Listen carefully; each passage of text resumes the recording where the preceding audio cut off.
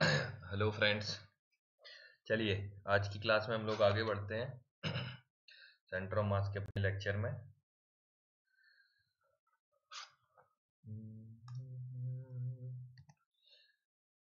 तो चलिए, हम लोग अपना देख रहे थे, सेंटर ऑफ़ मास में हम लोग प्रीवियस क्लास में पढ़ चुके थे। आज हम लोग सेंटर ऑफ़ मास का कंजर्वेशन ऑफ़ मोमेंटम की बात करेंगे। हम लोगों ने सी फ्रेम में मोमेंटम वगैरह निकाल लिया था, कंजर्वेशन ऑफ़ मोमेंटम। और इसी के साथ में इसी चेन को आगे बढ़ाते हुए हम लोगों ने कल पिछली क्लास में काइनेटिक एनर्जी ग्राउंड फ्रेम में and kinetic energy centre of mass frame में दोनों का एक्सप्रेशन जनरेट किया था। Kinetic energy in centre of mass frame में थी हाफ़ म्यू वी रिलेटिव का square and kinetic energy in ground frame का जो एक्सप्रेशन था वो kinetic energy in centre of mass frame plus half M total into V C square कुछ ऐसा generation आया था जो हम लोगों ने डिटेल्स में चर्चा ऑलरेडी कर रखी थी। तो आज की क्लास में बेसिकली हम लोग मोमेंटम का कंजर्वेशन देखेंगे, कैसे मोमेंटम कंजर्व होता है और ये आईआईटी के इम्पोर्टेंट से बहुत इम्पोर्टेंट टॉपिक है। बिकॉज़ मोमेंटम ऑफ़ कंजर्वेशन जो होता है, उस पर बहुत, हर साल ऑलमोस्ट आईआईटी क्वेश्चन पूछती है। इसके ऑन द अदर हैंड हम इस पर बहुत सारे क्वेश्चन और देखेंगे। जैसे कोलिजन वगैरह होता है, वो मोमेंटम के थ्रू ही सॉल्व किया जाता है।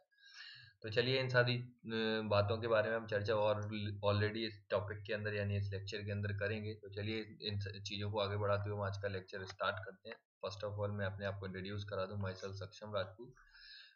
लोग मुझे एसआर सर के नाम से जानते हैं। मैं आईआईटी बॉम्बे से बीटेक किया है इन इलेक्ट्रिकल डिपार्टमेंट मैंने अपनी प्रिपरेशन के दौरान इवन मैंने जो अपना जो सिलेक्शन हुआ, मेरा वो ट्वेल्थ के साथ हुआ, मैंने कोई ड्रॉप का यूज़ नहीं लिया था। तो प्रिपरेशन के दौरान बहुत छोटी छोटी बातों पे मैंने रिसर्च कर रखी थी। बहुत छोटी छोटी बातों को मैंने बाइंड करके रखा था कि कैसे पढ़ना है टॉपिक्स कैसे होना चाहिए स्टडी का शेड्यूल क्या होना चाहिए। ये बहुत छोटी छोटी बातें बहुत इंपॉर्टेंट है और मैं पिछले दो सालों से जब कोटा पढ़ा रहा हूँ तो मुझे ये भी फील है कि चीज़ों को कैसे किया जाता है, कैसे नहीं किया जाता है। इन इन सब बातों को देखते हुए मैं आपको गाइड करूँगा यहाँ पे, बताऊँगा कि कैसे पढ़ना है। Centre of mass topic already IIT के पॉइंट से बहुत इंपॉर्टेंट टॉपिक है। मैं डेली लाइव आता हूँ फ्लूड मैकेनिक्स जो मैं टू टू थ्री के स्लॉट में पढ़ा रहा हूँ एंड सेंटर ऑफ़ मास जो मैं नाइन टू टेन के पीएम के स्लॉट में पढ़ा रहा हूँ। ये दोनों ही टॉपिक्स एलेवेंथ के पर्पज से एंड उन लोगों के लिए जो इस टाइम पे जेई मेंस दे रहे हैं जनवरी में यानी इस शेड्यूल्स में, उन लोगों के लिए, दोनों के लिए बहुत अच्छा है। इलेवेंथ के लिए एकदम कोर टॉपिक है। रिसर्च लेवल का उसमें वो पढ़ सकते हैं इस टॉपिक के बारे में। लेकिन अगर वो चाहे तो इसके, इसको देख भी सकते हैं। तो चलिए हम लोग आगे बढ़ते हैं अपनी आज की क्लास को आगे बढ़ाते हुए, बताते हैं चलिए आप सभी लोगों का अन अकेडमी के इस चैनल पे मोमेंटम चैनल पे बहुत बहुत स्वागत है। अन अकेडमी चैनल, ये चैनल या अन अकेडमी प्लेटफॉर्म इंडिया का लार्जेस्ट ऑनलाइन एजुकेशन प्लेटफॉर्म है, जैसा कि आप लोगों को पता है। यहाँ पे इंडिया की टॉप मोस्ट एजुकेटर की फैमिली है, अवेलेबल है। जो आप लोगों को गाइड करेंगे, उन सभी बच्चों को जिनकी रीच से ऑफलाइन कोचिंग एंड बहुत ज़्यादा अमाउंट में जिनके पास में ऑफलाइन कोचिंग में पैसा लगता है, उनकी रीच तक पहुँचने के लिए हम लोगों ने अन के इस प्लेटफॉर्म को, इस प्लेटफॉर्म के साथ उन सभी लोगों से जुड़ने का प्रयास किया। हम लोग सफल भी हैं हमारे साथ में बहुत सारे एजु, एजुकेटर्स की बहुत बेहतरीन टीम के साथ काफ़ी अच्छे बच्चों का रिस्पॉन्स एंड बाकी सारी चीज़ें बहुत अच्छे से ग्रो हो रही हैं। तो चलिए हम आप लोग इन चेहरों में से बहुत सारे लोग नाम जानते भी होंगे। तो अन अकेडमी पे कुछ स्पेशल क्लासेस वगैरह भी होती हैं जो अन अकेडमी के लर्निंग ऐप पे आप लर्निंग ऐप के लिए आप अपना फ़ोन उठाइए। प्ले स्टोर से लर्निंग ऐप डाउनलोड कीजिएगा। वहाँ से आप मुझे फॉलो भी कर सकते हैं। फॉलो करने के बाद में जब आप देख रहे होंगे तो कि स्पेशल क्लासेस का भी अरेंजमेंट हम लोग कर रहे हैं। इनमें कुछ पर्टिकुलर टॉपिक वाइज कुछ चीज़ें होती हैं जो पर टॉपिक ओरिएंटेड होती हैं। ये सारी चीज़ें यहाँ पे निकल के आएँगी। तो हम लोगों ने अन अकेडमी का जो प्लेटफॉर्म है, कुछ इस तरीके से डिज़ाइन है लोगों का जो मिथ है कि सर ऑनलाइन कोचिंग में रिकॉर्डेड वीडियो होते हैं। गलत बात, हम लोग यहाँ पे सारे वीडियोस लाइव होते हैं ऑलमोस्ट और डेली के डेली काफ़ी सारे वीडियोस लाइव आते हैं। इसमें आप इंटरेक्ट हो सकते हैं, फैकल्टी के साथ उनसे पूछ सकते हैं, उनसे डाउट पूछ सकते हैं। ये सारी चीज़ें आप कर सकते हैं। ये सब कुछ अन अकेडमी पे अवेलेबल है। साथ ही साथ अब ऑफलाइन में लगता है बच्चों को कि सर हम तो ऑफलाइन में टीचर्स के साथ में इंटरेक्ट भी हो सकते हैं। तो यहाँ भी इंटरेक्शन का हम लोगों ने एक तरीका आजमाया है, जिसमें आप एजुकेटर्स के साथ चैट कर सकते हैं, इंटरेक्शन कर सकते हैं, इंटरेक्टिव पूल्स जनरेट कर सकते हैं। जो, जिसमें जो क्लास में क्वेश्चन पूछा आप सिंपली जस्ट क्लिक करके आप अपने उस आंसर्स को अपने एजुकेटर्स तक पहुँचा सकते हैं। आपको तुरंत रिस्पॉन्स करके आपको आंसर्स मिलेगा।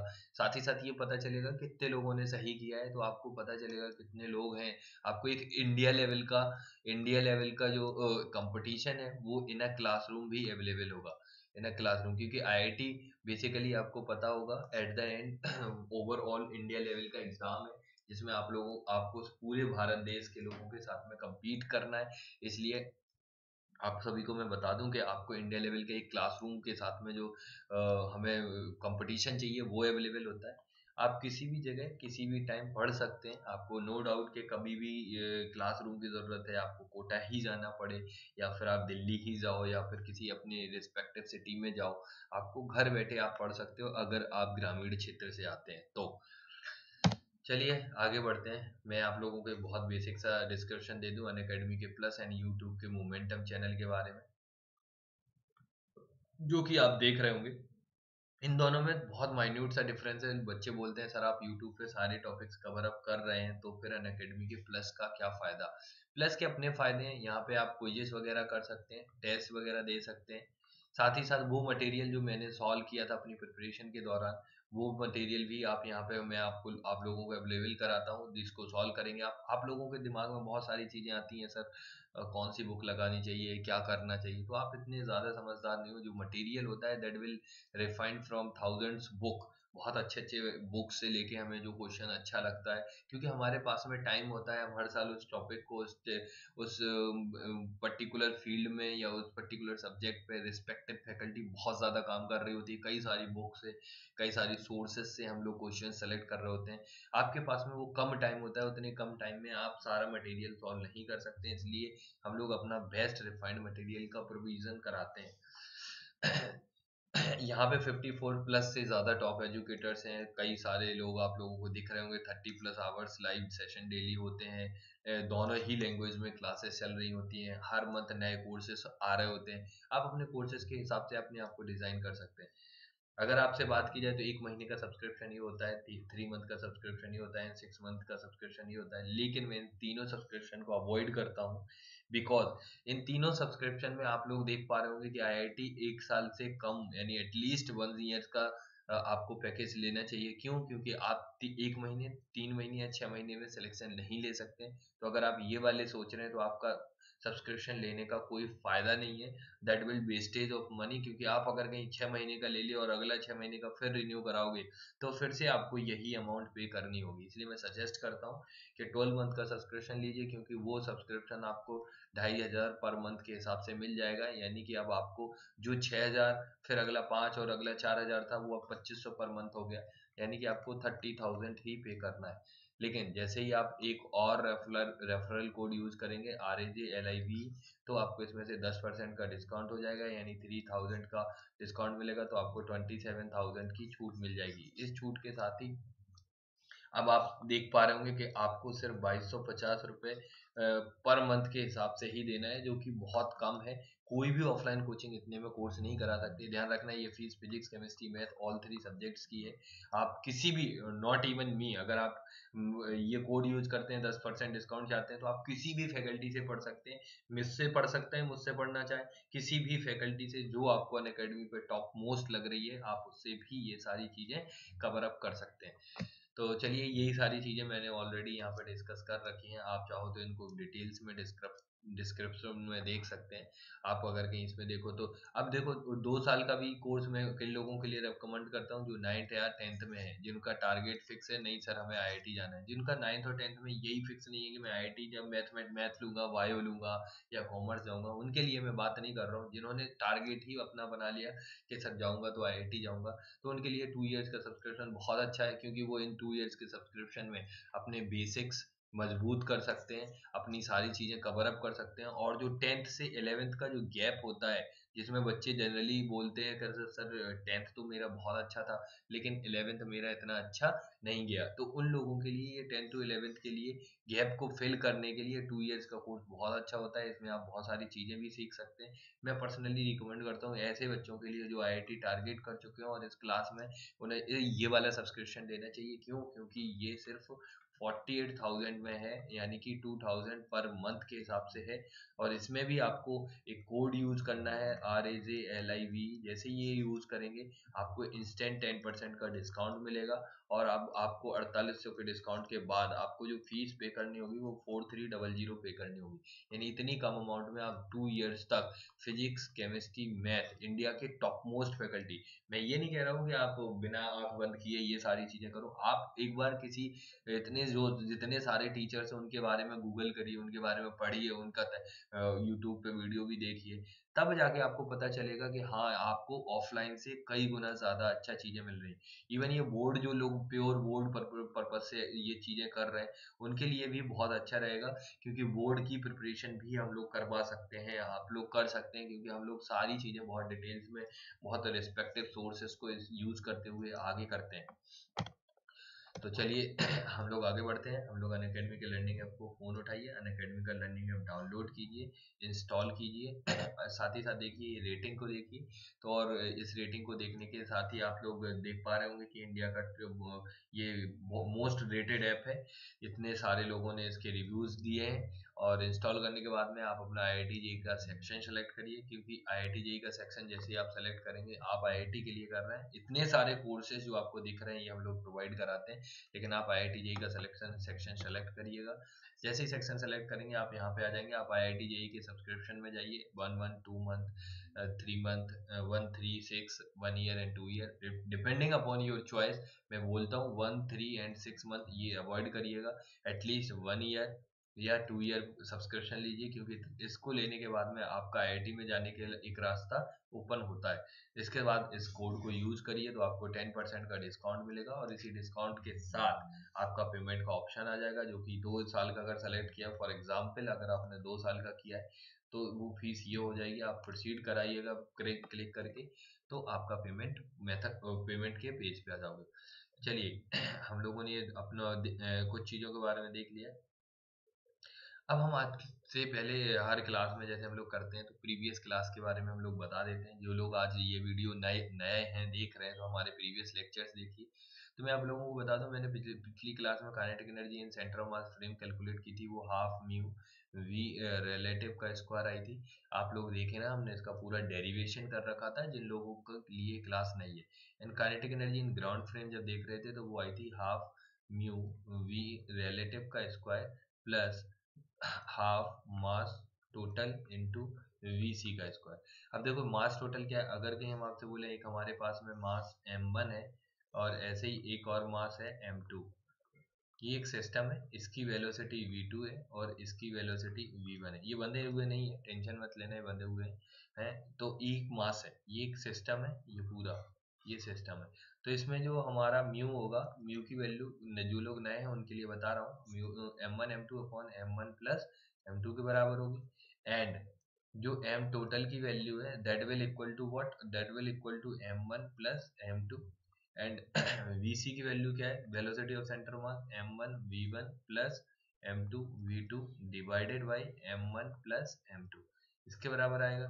ये हमारा velocity of centre of mass आ गया है। ये हमारे, हम लोगों ने पिछली क्लास में इसके बारे में डिटेल्स में चर्चा कर रखी है कि कैसे चीज़ों को देखना है क्या क्या हम लोगों को करना था केसी क्या होता है, कि केसी हमारी kinetic energy in centre of mass frame है kinetic energy in centre of mass frame of reference this will be a kinetic energy in ground frame in ground frame आ गई। Kinetic energy in ground frame kinetic energy in centre of mass frame ये कुछ चीज़ें हैं जो हम लोगों ने देख रखी थी। हमने इसके बारे में डिटेल्स में ऑलरेडी चर्चा कर रखी है। लेकिन इसके साथ ही मैंने एक चीज़ इसमें बहुत इंपॉर्टेंट बताई थी जो मैं आप लोगों को यहाँ भी बता दूँ। वी रिलेटिव का square plus half M total into V C का स्क्वायर इसमें दो कंपोनेंट है। यानी kinetic energy in ground frame में आप देख रहे होगे तो K C plus half M T V C square इस इक्वेशन को आप ध्यान से देखोगे तो ये दो चीज़ें हैं। अगर सिस्टम में हम, एक चीज़ हमें क्लियरली हम लोगों ने देख रखी थी इससे पिछले लेक्चर में, अगर एफ़ एक्सटर्नल की वैल्यू ज़ीरो है तो आप क्लियरली देख पा रहे होंगे कि acceleration of centre of mass कितना हो जाएगा? ज़ीरो देन आपको पता है हमारी velocity of centre of mass कितनी हो जाएगी? Velocity of centre of mass क्या हो जाएगी? कांस्टेंट यानी कि change in velocity of centre of mass क्या होगी? कांस्टेंट तो clearly change in kinetic energy in ground frame is equal to change in kinetic energy in centre of mass frame plus ये वाली वीसी तो change होगा नहीं तो this will equal to zero यानी चेंज इन काइनेटिक एनर्जी चाहे centre of mass frame में निकालो, और चाहे ग्राउंड फ्रेम में निकालो, वो बराबर आएगी कब? जब एक्सटर्नल फोर्स बॉडी पे बिल्कुल भी ना लग रहे हो। इम्पोर्टेंट है ये पॉइंट मतलब हम क्लियरली एक कमेंट कर सकते हैं कि ये वाला जो पार्ट है, पिछली क्लास में एक्सप्लेन किया था this is not depends this is change only when only when F external is not equal to zero अगर F external not equal to zero है तो velocity of centre of mass zero नहीं होगी constant नहीं होगी तो इसमें भी चेंज आएगा। लेकिन लेकिन, जो हमारा के सी है, यानी कि हाफ़ म्यू वी रिलेटिव ये वाला पार्ट एक्सटर्नल एंड इंटरनल दोनों फोर्सेस की वजह से चेंज हो सकते हैं। External and internal forces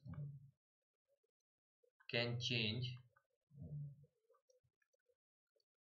can change the kinetic energy of center of mass. तो ग्राउंड फ्रेम की एनर्जी जो ग्राउंड फ्रेम ऑफ़ रेफरेंस है, जो हमने काइनेटिक एनर्जी देखी है, वो कैसे चेंज होगी, ये हम लोग देख सकते हैं, देख पा देख पा भी रहे होंगे। ये हम लोगों ने अपनी पिछली क्लास में यहाँ तक के बारे में, इतने टॉपिक्स के बारे में चर्चा कर रखी थी। कोई ज़्यादा बड़ी बात हम लोगों ने नहीं देखी थी। ये इंपॉर्टेंट है, इससे बहुत सारे क्वेश्चंस बड़े इजीली में सॉल्व हो जाते हैं। अगर कहीं आप देखोगे तो बहुत सारी प्रॉब्लम्स जो सेंटर ऑफ़ मास फ्रेम से देखने पे कई बार बहुत इजी कन्वर्ट हो जाती हैं सेंटर ऑफ़ मास के फ्रेम ऑफ़ रेफरेंस से। लेकिन ग्राउंड फ्रेम से उनकी टफनेस बहुत ज़्यादा होती है। बजाय इसके कि वो आप उसको centre of mass frame of reference में देख रहे हैं। लेकिन अगर कहीं हम आपसे एक और बात करें कि जब centre of mass frame of reference से हम ये लोग ये देख पा रहे हैं, लेकिन हमें इसके साथ ही एक बात और देखनी होती है कि क्या एक्सटर्नल फोर्स का वर्क तो नहीं हो रहा है? क्योंकि अगर एक्सटर्नल फोर्स का वर्क हो रहा होगा external force not equal to zero होगा तो फिर काइनेटिक एनर्जी का जो दो कंपोनेंट है, एक kinetic energy of centre of mass वाला, एक half M total into B C square वाला, ये दोनों ही डिफर करेंगे। लेकिन अगर कहीं एफ़ एक्सटर्नल की वैल्यू ज़ीरो है तो सिर्फ़ और सिर्फ़ सेंटर ऑफ़ मास वाली एनर्जी यानी जिस जो एक्सटर्नल एंड इंटरनल अब देखो कई बार क्या होगा मेंस में यही पूछ लेंगे, ये दो कंपोनेंट वो दे देंगे kinetic energy from ground frame ये होती है. और उसके बाद पूछ लेंगे कि एफ़ एक्सटर्नल किस किस, किन किन किन, किस किस पार्ट को वेरी करेगा. तो इसको भी करेगा, इसको भी करेगा. ले, और इंटरनल किसको करेगा? सिर्फ़ और सिर्फ़ इसको करेगा, इसको डिफर नहीं करेगा. तो ये दो एक बहुत शानदार सा क्वेश्चन आप देख पा रहे होगे कि हम मेंस में पूछ सकते हैं इवन एडवांस में भी पूछ सकते हैं। तो पढ़ते टाइम ये सारी चीज़ें छोटी छोटी बातें नोटिस करते रहना चाहिए कि कैसे हम लोगों को चीज़ें करना है। अगर हम इसकी बात करें तो ये किस फ्रेम ऑफ़ रेफरेंस की बात कर रहे हैं? Kinetic energy in centre of mass frame this will be a kinetic energy in ground frame क्योंकि ग्राउंड फ्रेम और kinetic energy in centre of mass frame इन दोनों में बहुत छोटा सा डिफरेंस है। इन दोनों में बहुत छोटा सा डिफरेंस है। इतना बात आप लोग ध्यान रखना कि कोई बहुत ज़्यादा बड़ी बात नहीं है कि आप लोग इसके बारे में ना सोच पाए कि सर हम लोगों ने, हमें कैसे करेंगे, इसको क्या करेंगे, हमें नहीं समझ में आया। तो kinetic energy in ground frame में दो कंपोनेंट जो जो है, वो हम फिर से बता दे रहे kinetic energy in centre mass frame plus half M total V C square जिन लोगों को लगता है कि सर ये एक्सप्रेशन आया कहाँ से तो वो आप इससे पहले वाला लेक्चर देखिएगा। आपको मैंने इसका पूरा डेरिवेशन डिटेल्स में चर्चा करके बताया है ऑलरेडी आपको फील आएगी कि क्या करना है। तो चलिए आज जो हम लोग पढ़ने वाले थे the law of conservation of momentum उसके बारे में चर्चा करते हैं। The law of conservation of momentum अब देखो हमें मोमेंटम की बात करते हैं, कि मोमेंटम हम लोगों को कैसे कंजर्व कर जाना है, क्या होता है, ये बहुत इंपॉर्टेंट टॉपिक है, क्योंकि लोगों को फिजिक्स में अगर नहीं कुछ समझ में आता है, खासकर नीट वालों को अगर वो नीट वाले मेरी ये वीडियो देख रहे हैं तो वो उन्हें उन्हें यही समझ में नहीं आता कि सर आप कब मोमेंटम कंजर्व करा दे रहे हो, कब मोमेंटम कंजर्व नहीं हो रहा है, ये चीज़ें हमें समझ में नहीं आ रही। तो सबसे पहले केस होना चाहिए, अगर आपका सिग्मा एफ़ एक्सटर्नल यानी कि जितने सारे फोर्सेस लग रहे हैं, उन सभी का सम ज़ीरो है।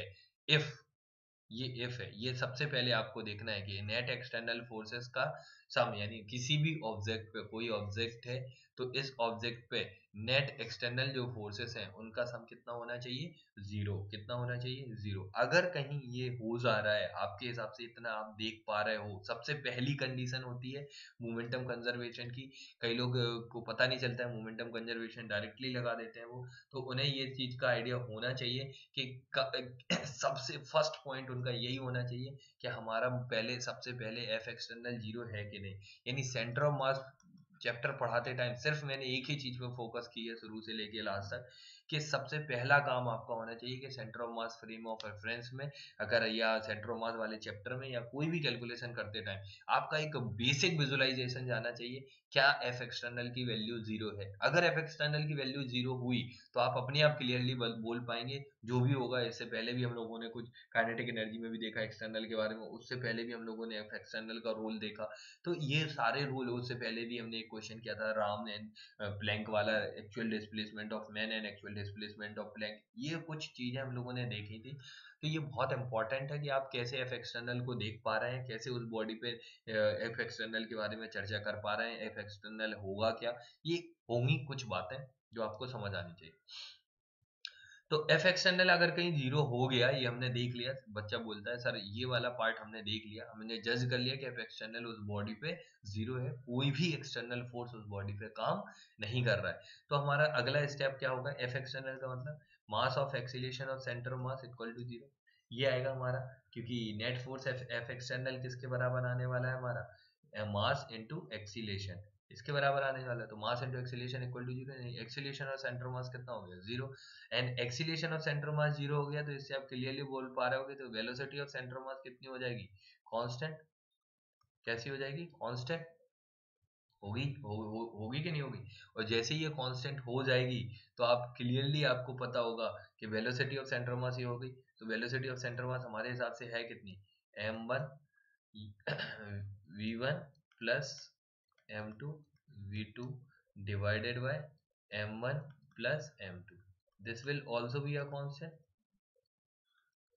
क्या हो जाएगा? ऑल्सो बी अ कॉन्स्टेंट तो क्लियरली आपको पता है, अगर कोई ऑब्जेक्ट है, इसकी वेलोसिटी v1 इनिशियली इसकी स्पीड u1 है, इसका मास m1 है एंड एक और ऑब्जेक्ट है, जिसकी स्पीड u2 है इनिशियली और इसका मास m2 है। लेकिन आफ्टर सम टाइम ये इनिशियल में, ये किसमें? इनिशियल है। इनिशियल है।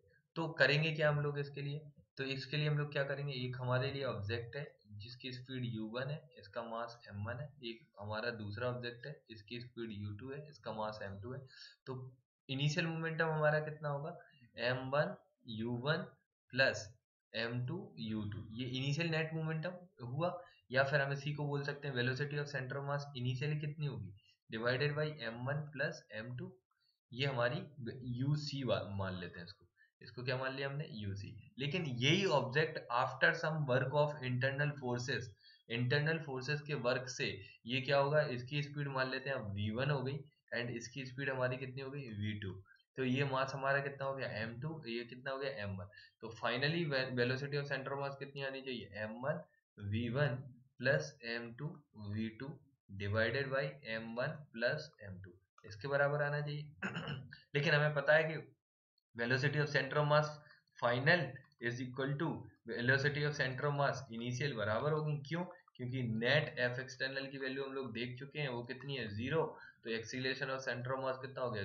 ज़ीरो यानी कि इससे हम क्लियरली बोल पा रहे हैं वेलोसिटी ऑफ़ सेंटर मास क्या होगी? कांस्टेंट ये कुछ बातें हम बार बार लिखते हैं, ये आपकी भी हैबिट होनी चाहिए ताकि आप बोलो किसी क्वेश्चन को सॉल्व करते टाइम आपको फील आना जनरेट हो जाएगी कि कैसे हम लोगों को इस चीज़ को कवर अप करना है, कैसे इस चीज़ को सॉल्व करना है, कैसे हमें ये सारी चीज़ें देखनी है। अगर कहीं आपके दिमाग में ये सारी चीज़ें पैरेलली चल रही हैं तो आपको क्लियरली पता चल जाएगा कि क्या क्या हमें करना चाहिए और कैसे हमें सारी चीज़ों को मेकअप करना है।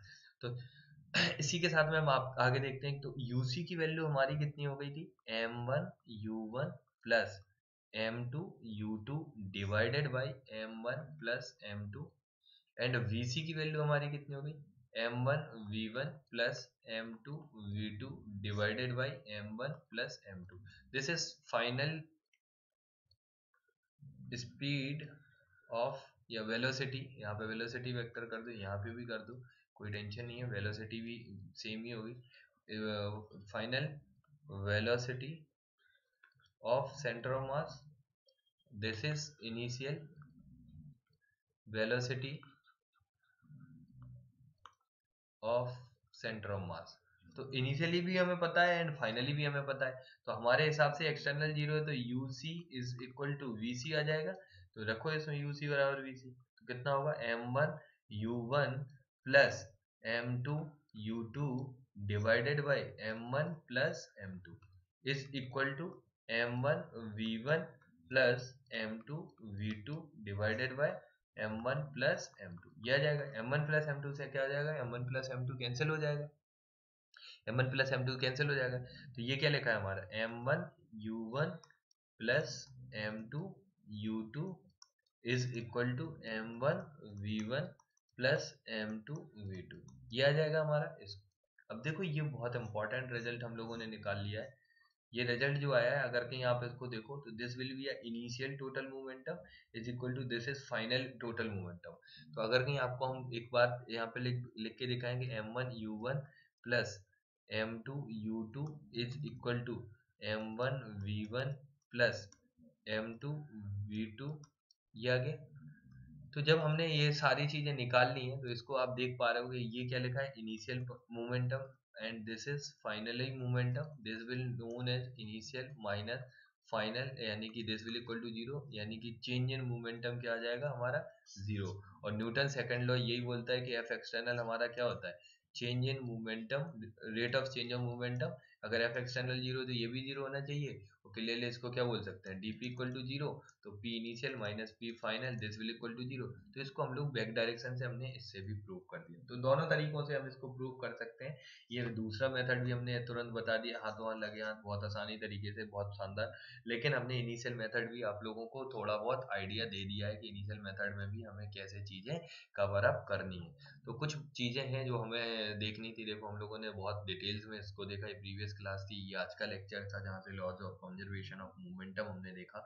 ये laws of conservation of momentum की चर्चा जैसे ही हमने की तो आप लोग देख पा रहे होंगे कि हमने सारी चीज़ें एकदम कवर अप डिटेल्स में कर दी। सबको सॉल्व भी कर दिया। सॉल्व करने के साथ आप देख रहे हो पूरा डेरिवेशन किया। ये डेरिवेशन आपको रटना नहीं है, बस आपको इतना सा देखना है। डेरिवेशन अगर आप भूल जाओ तो आप यहाँ से भी इसको सॉल्व कर सकते हो। कि second in from Newton second law से हम कह सकते हैं rate of change of momentum is equal to zero effect F external equal to zero तो कुछ ये सारी चीज़ें हम लोगों ने देख ली हैं कि हमें कैसे ये सारी चीज़ें कवर करनी थी।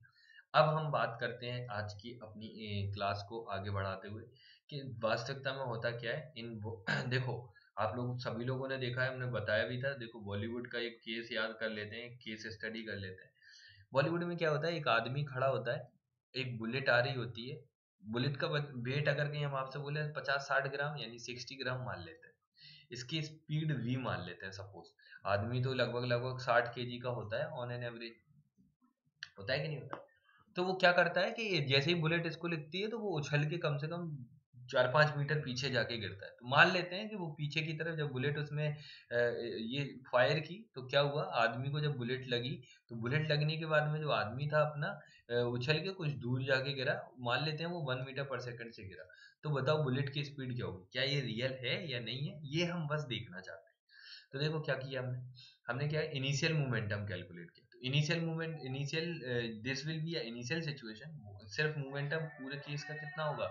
अगर कहीं आप देख पा रहे हो ये सारी चीज़ें तो आपको कल क्लियर होगा ये सारी चीज़ें कि कैसे हमें ये सारी चीज़ें कवर अप करनी है।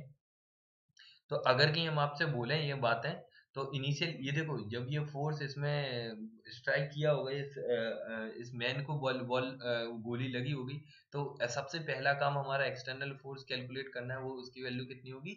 ज़ीरो के बराबर होगी। क्यों? क्योंकि बुलेट एंड आदमी का जो इंटरनल फोर्सेस हो गए इंटरनल फोर्सेस की वजह से एक्सटर्नल फोर्सेस की वैल्यू कितनी हो गई ज़ीरो तो इनिशियल मूवमेंटम कितना हुआ? Mass into acceleration mass into velocity तो मास इसका 60 डिवाइडेड बाई थाउज़ेंड के में कन्वर्ट करा लिया into velocity plus 60 K G into zero this will be equal to कितना आ जाएगा? Six by hundred into velocity ये हमारा इनिशियल आ गया। ये हमारा इनिशियल मोमेंट ये हमने देख लिया, ये हमने कैलकुलेट कर लिया है। ये सबसे पहला काम होना चाहिए कि आपको पता होना चाहिए एफ़ एक्सटर्नल की वैल्यू होती क्या है और निकालनी कैसे ठीक है? अब हम देखते हैं फाइनल मोमेंटम अपना। पी फाइनल की वैल्यू क्या है? तो वो बुलेट आदमी में लगी तो आदमी पीछे की तरफ़, यानी वो बुलेट आई, इसके लगी, ये ज़ोर से कितने वन मीटर पर सेकंड से पीछे गया। ठीक है? ये वन मीटर पर सेकंड से जब पीछे की साइड में गया तो आपको ये बात पता होगी, ये पी फाइनल की वैल्यू 60 इंटू हम क्या लिखेंगे? वन यानी 60 केजी मीटर पर सेकंड आ जाएगा ये। और क्लियरली आपको ये पता चल रहा होगा, ये सारी बातें कि हम बुलेट का वेट थोड़ा नेग्लेक्ट कर रहे हैं, वो चल जाएगा। तो हमारे हिसाब से P initial is equal to P final और पी इनिशियल की वैल्यू क्लियरली कितनी है?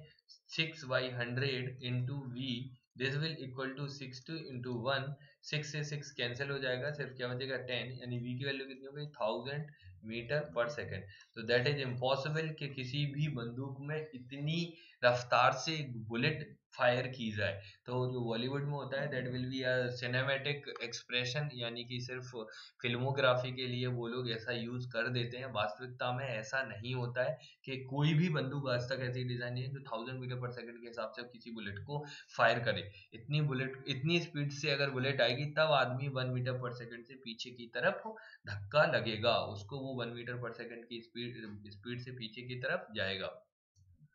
ये ये तब उस केस में होगा। उससे पहले अदरवाइज़ आप एकदम इसके बारे में नहीं कर पाएँगे कि कैसे इसको करना है।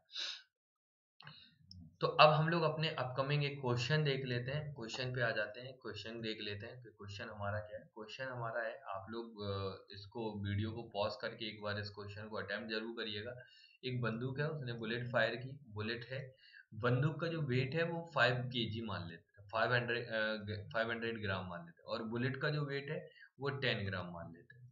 ये हमारी पिस्टल है। इससे बुलेट फायर करनी है। Velocity of bullet relative to gun this will equal to hundred meter पर सेकेंड ये हमें पता है। ये हमें पता है। लेकिन साथ ही साथ हमें पता है, ये जो होती है this will known as muzzle velocity muzzle velocity क्या होती है ये? मजल वेलोसिटी तो अगर कहीं आपको किसी बंदूक की गोली की मजल वेलोसिटी दी है this means it is a velocity of bullet relative to gun क्योंकि गन भी, अगर जब ये फायर होगी तो गन भी पीछे जाएगी, किसी स्पीड से एंड बुलेट भी आगे जाएगी। तो velocity of muzzle velocity is this तो velocity of B minus velocity of gun is equal to hundred already इससे पिछले टू पिछले लेक्चर में हम ये बता चुके हैं कि मजल वेलोसिटी होती क्या है। तो ये क्वेश्चन हमारी वन हमने क्वेश्चन नंबर वन बना ली। साथ ही साथ हमें पता है कि सारे फोर्सेस हमारे इंटरनल है। नेट एक्सटर्नल फोर्स की वैल्यू कितनी है हमारी इसमें? नेट एक्सटर्नल फोर्स की वैल्यू कितनी है? ज़ीरो वो चेंज नहीं हो रही है। वो चेंज नहीं हो रही है। यानी फायर करने यानी कि मोमेंटम कंजर्व होगा तो initial momentum is equal to final momentum ये इंपॉर्टेंट कंडीशन तब लिखोगे जब आप ये स्टेप लिख लोगे, जब तक आप ये ना लिखो, तब तक आप ये वाली कंडीशन पे मत आना। अदरवाइज़ आपको एक ही फीलिंग रह जाएगी कि हमें नहीं मालूम चलता है मोमेंटम कब कंजर्व होता है, कब नहीं होता है। बस हो जाता है, कैसे होता है आई डोंट नो सर कह देते हैं, इसलिए हो जाता है। हमें पता भी नहीं चलता कि मोमेंटम कंजर्वेशन लगता कैसे है, उसका यूज़ कैसे होता है। ये कोई भी क्वेश्चन आप अटेम्प्ट ही नहीं कर पाएँगे अनटिल एंड अनलेस जब तक आप एफ़ एक्सटर्नल की वैल्यू ज़ीरो के बराबर नहीं कर देते हैं। ये सबसे इंपॉर्टेंट पार्ट है, फिर से हम बोल रहे हैं, आप मोमेंटम कंजर्वेशन की इक्वेशन पे को तभी लिखिएगा जब आप एफ़ एक्सटर्नल की वैल्यू कितनी लिख लें? ज़ीरो के बराबर। तो जब आप आप पता लगा लें कि ऐसा नहीं है कि सर हमने तो एफ़ एक्सटर्नल ज़ीरो लिख लिया था। आपको पता होना चाहिए कि एफ़ एक्सटर्नल की वैल्यू ज़ीरो है, यानी no there is no external forces on the body अगर कहीं किसी बॉडी या किसी सिस्टम या किसी ऑब्जेक्ट पे कोई नेट एक्सटर्नल फोर्स ज़ीरो है तो आप मोमेंटम को कंजर्व करा सकते हैं। तो इनिशियल मोमेंटम कितना हो गया? दोनों का ज़ीरो क्यों? क्योंकि बुलेट है एंड गोली है, दोनों रेस्ट पे थे, कुछ भी नहीं हुआ। मान लेते हैं फायर हुआ। फायर होने के बाद में दोनों की वेलोसिटी हमें पता है कि वी भी मान ले रहा है, कि वी जी मान ले रहा है। तो हमारा मोमेंटम क्या हो जाएगा? 500 हंड्रेड अपॉन थाउज़ेंड ये केजी में बदल दिया। Into velocity of gun into velocity of gun plus finally इसका कितना आ जाएगा? मान ten upon thousand into velocity of bullet अब देखो इसमें होता क्या हमने दोनों की स्पीड यही मान ली, कोई दिक्कत नहीं। आप जैसे ही फायर हो जाएगी गन अगर कोई नेगेटिव आ गया तो मान लेंगे वो इधर की तरफ़ है, या इधर की इसकी, अब ध्यान रखना हमने बुलेट की डायरेक्शन को, इधर को पॉजिटिव माना तो दोनों को हमने पॉजिटिव रखा तो हमने बोला फायर होने के बाद में बुलेट भी आगे गई एंड गन भी आगे गई। सपोज़ लेकिन अगर कहीं नेगेटिव आ गया तो गन पीछे चली जाएगी और बुलेट आगे चली जाएगी, ये हम कहना चाहते हैं। तो देखो हमने यहाँ पे क्या कर दिया five velocity of gun plus point zero one velocity of bullet is equal to zero this will be equation number two ये हमारी इक्वेशन नंबर टू बन गई है। इसमें देयर इज़ नो डाउट आपको कोई डाउट आना नहीं चाहिए कि हमने क्या किया। हमने बहुत सिंपल से, बहुत अच्छे से आपको सारी चीज़ें एक्सप्लेन की हैं। आप चाहो तो दोबारा से इस इस चीज़ को देख पा रहे होगे कि कैसे इसको करना है, कैसे हमने चीज़ों को कवर अप करना है। बेसिकली हमने there is no external forces हमने एक्सटर्नल फोर्सेस को ज़ीरो सबसे पहले लिखा। आफ्टर दैट हम क्वेश्चन पे आए। हमें सबसे पहले इसमें velocity of bullet and velocity of gun find करनी थी। जब ये आ जाएगी तो हमें फिर बाद में, इसके बाद में kinetic energy of the system भी बतानी थी कि क्या होगी। वो भी हम लोग देख लेंगे क्योंकि अगर कहीं ऐसा क्वेश्चन भी आ सकता कि मान लिया हमने बुलेट फायर की तो बुलेट फायर करने के बाद में कुछ हीट जनरेट हुई होगी या कुछ एनर्जी जनरेट होगी। वो एनर्जी कितनी अमाउंट कितना एक्सप्लोजिव बर्न हुआ होगा या कितनी एनर्जी जनरेट हुई होगी वो बता दो। तो सारी की सारी एनर्जी काइनेटिक एनर्जी में हम मान लेंगे, कोई भी हीट टेम्परेचर इनमें वेस्ट नहीं होगी तो सारी की सारी काइनेटिक एनर्जी मान लेंगे तो बता देंगे कि हम फायर होने के बाद में टोटल जो सिस्टम ने एनर्जी रिलीज़ की, वो काइनेटिक एनर्जी को गेन कराने में हुई। तो चलिए आगे बढ़ाते हैं हम इस क्वेश्चन को। तो हमारी दो इक्वेशन है, हम दोनों को लिखते हैं V V minus V G equal to hundred meter पर second equation number one and five V G plus point zero one velocity of bullet equal to zero इन दोनों में से एक को कहीं भी सब्सिट्यूट कर दो। जैसे अगर हम इस वाले को सब्सिट्यूट करने की कोशिश करें तो that will equal to five V G plus point zero one V V की वैल्यू यहाँ से कितनी आ जाएगी? Hundred plus V G equal to zero यानी five V G plus point one यानी five point zero one V G plus one is equal to is equal to zero यानी V G is equal to one upon five point zero one यानी कि hundred upon five zero one meter पर second यानी कि gun जो होगी वो negative sign के साथ में, पिछली डायरेक्शन में, यानी रिवर्स डायरेक्शन में रिवर्स डायरेक्शन में रिकॉल करेगी। इतना ध्यान रखना five point one ten by thousand ठीक है? टेन ग्राम ये हमारा बेसिक नोटेशन आ जाएगा कि हम लोगों ने कैसे क्वेश्चन को सॉल्व किया है या क्या हमारा आंसर आया है। टेन ग्राम नहीं, हंड्रेड ग्राम की बुलेट टेन ग्राम की थी। टेन ग्राम हुआ तो ten gram is directly link with K G in point zero one ठीक है। तो इतने ग्राम का हमारा आंसर निकल के आया कि हमारा इतने ग्राम का ये, इतनी वेलोसिटी होगी गन की। तो वेलोसिटी ऑफ़ बुलेट इजीली निकाल सकते हैं। वेलोसिटी ऑफ़ गन इसमें सब्सिट्यूट कर दो तो हंड्रेड हंड्रेड प्लस, यानी माइनस हो जाएगा, hundred minus five zero one. Hundred common ले लिया तो hundred into five hundred divided by five zero one, this will equal to five C hundred into दो zero divided by five zero one meter पर second. ये इसके बराबर आ जाएगा, यानी आपको स्पीड इसकी पता चल जाएगी कि हमारी स्पीड ये आई। तो आप लोग ध्यान रखना हमने कैसे सॉल्व किया, आपको पता होना चाहिए ये सारी चीज़ें। अब दोनों की स्पीड पता चल गई हमें, यानी कि पूरा। तो सिस्टम की काइनेटिक एनर्जी बहुत आसान है कि kinetic energy of the system कितना हो जाएगा? Half M one V gun V gun का square plus half mass of bullet into velocity of bullet का स्क्वायर और इसमें सारे डेटा हम सब्सिट्यूट कर देंगे तो हमारी नेट काइनेटिक एनर्जी भी सॉल्व करके आ जाएगी। अब जो भी काइनेटिक एनर्जी होगी that will comes from the firing यानी फायरिंग से हमने कोई भी एनर्जी का लॉस नहीं माना है तो सारी की सारी एनर्जी हमारे कहाँ से आके निकल रही होगी? हमारी सारी की सारी काइनेटिक एनर्जी कहाँ से आके आ रही आ रही होगी? हमारी फायरिंग से गेन हो रही होगी। यानी कि फायरिंग करने के बाद में जो नेट काइनेटिक एनर्जी होगी, वो हमारी यही होगी। तो ये हमारे कुछ चीज़ें हैं। जो हमने सॉल्व कर दी। अब हम आपको एक फेवरेट क्वेश्चन जो बहुत सारी बुक्स और बहुत सारी चीज़ें सॉल्व करके दिखाती हैं, वो देखो क्वेश्चन कुछ ऐसा है कि आप लोगों को कई जगह देखने को मिलेगा और उसको हम लोग सेंटर मास फ्रेम पढ़ रहे थे सेंटर मास फ्रेम पिछली क्लास में पढ़ रहे थे, ये हम लोगों ने कंप्लीट कर लिया कंजर्वेशन ऑफ़ मोमेंटम को कंजर्व कंजर्वेशन ऑफ़ मोमेंटम यहाँ पे खत्म हुआ कंजर्वेशन ऑफ़ मोमेंटम ध्यान रखना कंजर्वेशन ऑफ़ मोमेंटम आपका तभी लगना है जब आप फाइंड कर लो कि एफ़ एक्सटर्नल की वैल्यू ज़ीरो है। अदरवाइज़ आपको कंजर्वेशन ऑफ़ मोमेंटम नहीं लगाना है। ठीक है? क्योंकि अगर ये नहीं हुआ तो कंजर्वेशन ऑफ़ मोमेंटम नहीं लगेगा। अब आपके पास में एक एक के का और एक फोर के का ब्लॉक है, जो कि एक फ्रिक्शन सरफेस पर रखा हुआ है किस सरफेस पर रखा हुआ? है फ्रिक्शन इसको इसमें देख लेते हैं। ये वन के जी है। ये फोर के जी है। तो ये फ्रिक्शन लेस सरफेस पे रखा हुआ है। दोनों ही ब्लॉक फ्रिक्शन लेस सरफेस पे हमने इनिशियली इसको 10 मीटर पर सेकंड की स्पीड से स्पीड से स्पीड दे दी। जो के है हमारा वो 100 न्यूटन पर मीटर है। के यानी कि स्प्रिंग कांस्टेंट जैसे हम बुलाते हैं, ये है। हमें सरफेस सारी कैसी है? फ्रिक्शन लेस है। Surface surfaces are friction less कैसी हैं फ्रिक्शन लेस है।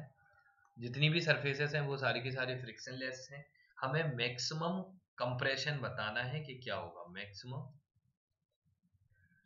कंप्रेशन बताना है। कंप्रेशन इन स्प्रिंग तो देखो बहुत आसान है। मैक्सिमम कब होता है? जब उसका फ़र्स्ट ऑर्डर डिफरेंशियल ज़ीरो होगा यानी x की मैक्सिमम वैल्यू हमें कैलकुलेट करनी है क्या होगी? X की मैक्सिमम फॉर x मैक्सिमम के लिए हम क्या कर सकते हैं? D X by D T to zero. This means velocity of relate, uh, relative velocity equal to zero. क्यों? क्योंकि दिस विल बी एक्स का कंप्रेशन मतलब स्प्रिंग का compression equal to V relative zero और आप क्लियरली बोल पा रहे होंगे कि ये कंप्रेशन मैक्सिमम तब होगा जब दोनों ब्लॉक की स्पीड सेम हो जाएगी तभी तो दबेंगे क्योंकि अगर ये जा, बाहर जा रहा होगा ये कम स्पीड से इसकी स्पीड कम होगी इसकी ज़्यादा होगी तो स्प्रिंग एक्सपेंड हो रही होगी इसकी स्पीड ज़्यादा होगी इसकी कम होगी तो स्प्रिंग कंप्रेस हो रही होगी। लेकिन अगर इसकी स्पीड और इसकी स्पीड बराबर होगी तो ना तो स्प्रिंग कंप्रेस हो रही होगी ना एक्सपेंड हो रही होगी तो दोनों की वैल्यू कैसी हो रही होगी? सेम ये बात आपको पता चलनी चाहिए कि कैसे हम लोगों ने इसको सेम किया है यानी क्यों हमने वी रिलेटिव की वैल्यू ज़ीरो की है। तो जैसे ही हमें ये पता चल गया कि वी रिलेटिव की वैल्यू ज़ीरो होनी चाहिए फॉर मैक्सिमम के के लिए। तो हम लोग सबसे पहले आप लोगों को पता है कि, साथ ही साथ हमें एक बात और पता है कि इस पे कोई एक्सटर्नल फोर्स नहीं लग रहा है। इंपॉर्टेंट बात है। आज की लेक्चर में हमने प्रीवियस क्लास का यूज़ लिया था। There is no external forces यानी वेलोसिटी ऑफ़ सेंटर मास क्या हो गई? कांस्टेंट यानी कि change in kinetic energy in ground frame equal to change in kinetic energy in C frame और हम लोग जब सी फ्रेम में देख रहे हैं तो सी फ्रेम में ही देख लेंगे ग्राउंड फ्रेम की। यानी इसकी जो काइनेटिक एनर्जी का चेंज होगा, वो हर एक फ्रेम में सेम होगा। तो बेसिकली हमारे हिसाब से चेंज क्यों? क्योंकि हमारा ये ज़ीरो है तो वो जो दूसरा वाला पोर्शन है, वो ज़ीरो आ जाएगा। और क्लियरली हम देख पा रहे होंगे कि वर्क एनर्जी थ्योरम क्या होती है? वर्क एनर्जी थ्योरम क्या होती है? Work done by all the forces work done y all the forces is is equal to change in kinetic energy in ground frame. तो आपको ये इंपॉर्टेंस पता चलेगी कि जो change in kinetic energy in ground frame and change in kinetic energy in centre of mass frame क्या होती है? तो सेंटर ऑफ़ मास फ्रेम क्या होगी और वो क्या होगी हमें निकालना है। तो बगडन भाई ऑल फोर्सेस इसमें कौन सा वर्क हो रहा है सर स्प्रिंग का तो स्प्रिंग का वर्क क्या होता है? हाफ़ की एक्स इनिशियल का स्क्वायर माइनस एक्स फाइनल का square is equal to half mu v relative का स्क्वायर माइनस u रिलेटिव का स्क्वायर अब ये एक इक्वेशन हमने लिख सब लोग देख पा रहे होंगे कि स्प्रिंग का जो फोर्स होता है इनिशियल माइनस फाइनल होता है, बाकी सब फाइनल माइनस इनिशियल होता है। तो हाफ़ के की वैल्यू कितनी हो गई? Hundred into initially spring natural length पे थी इनिशियली नेचुरल लेंथ पे थी तो ज़ीरो माइनस फाइनली हमें निकालना है फाइनली हमें निकालना है। Square is equal to half mu की वैल्यू आपको पता है one into four divided by one plus four into finally v relative zero होना चाहिए मैक्सिमम कंपरेशन के लिए तो ये है माइनस इनिशियली ये इन दोनों की रिलेटिव वेलोसिटी कितनी है? टेन तो कितनी आ जाएगी? हंड्रेड ये हमारा सॉल्व करके आ गया। तो यहाँ से देखो हाफ़ से हाफ़ कैंसिल हो जाएगा। तो यहाँ कितना आएगा? हंड्रेड से हंड्रेड उड़ जाएगा। तो माइनस एक्स फाइनल एक्स हमारा एक्सपेंशन का square is equal to minus four by five किया गया। यानी कि क्लियरली हमारा एक्स मैक्स की जो value I that will comes out to be two by root five metre इतने मीटर का एक्सपेंशन हो जाएगा। यानी कि इतने मीटर हमारी स्प्रिंग मैक्सिमम दबेगी, अगर कहीं आप इसको इतना फोड़ दोगे। इसको हम पिछली क्लास अगली क्लास में, आने वाली क्लास में डिटेल्स में चर्चा करेंगे और इसका एक और मेथड की बात करेंगे कि हम लोगों ने कैसे कर रहे हैं। ध्यान रखना हमने यहाँ पे डब्ल्यू e लगाई है और साथ ही साथ इसका भी यूज़ लिया है। तो दो तीन कॉन्सेप्ट को मिक्सअप कराया है। That is will we are I यानी आईआईटी यही है। आईआईटी बस यही खेलती है कि आपको पता होना चाहिए कब कौन सा फॉर्मूला लगाना है, कब कौन सा कॉन्सेप्ट लगाना है कौन सी चीज़। सब सारी चीज़ें आपके सामने होती हैं। तो ये सारी चीज़ें हम लोगों ने डिटेल्स में ऑलरेडी चर्चा कर ली है। तो चलिए हम लोग अपने आज की क्लास को देखते हैं, क्योंकि आज हम लोगों ने काफ़ी सारे चैप्टर्स काफ़ी सारे टॉपिक्स कवर अप कर लिए हैं। तो आज की क्लास में हम लोगों को आप समराइज कर लेते हैं। अगर आपको मेरी वीडियो अच्छी लगी तो आप थैंक बेल आइकन दबाइए चैनल को सब्सक्राइब करिए एंड लाइक को लाइक बटन को ज़रूर प्रेस करिएगा। हिट द बेल आइकन ताकि आपको आप आने वाली अपकमिंग क्लास का नोटिफिकेशन मिलता जाए। अगर आप हमारे प्लस कोर्स को ज्वाइन करने वाले हैं तो आप इस कोड को यूज़ करिए आपको इंस्टेंट टेन परसेंट का डिस्काउंट मिलेगा। साथ ही साथ आप इसके साथ ही फिजिक्स के, के साथ फिजिक्स केमिस्ट्री में ऑल थ्री सब्जेक्ट्स पढ़ सकते हैं। उतनी ही फ़ीस में मैंने बताया फ़ीस का सब्सक्रिप्शन बहुत कम है। आप अन अकेडमी का लर्निंग ऐप डाउनलोड कीजिए आईआईटी के सेक्शन में जाइए और उसके बाद में आप अपने सेक्शन में जाने के बाद में बाकी सारी चीज़ों को कर सकते हैं। तो चलिएगा भाई धन्यवाद थैंक यू आप लोगों को आपका दिन बहुत अच्छा हो। सोना मत, पढ़ना और थोड़ा सा डेली रूटीन में रहना और फोकस्ड रहना। एक अपने आप से डेली का एक प्रॉमिस होना चाहिए कि हम इतना तो करेंगे ही। चलिए धन्यवाद, आज की वीडियो को हम लोग यहीं पॉज करते हैं।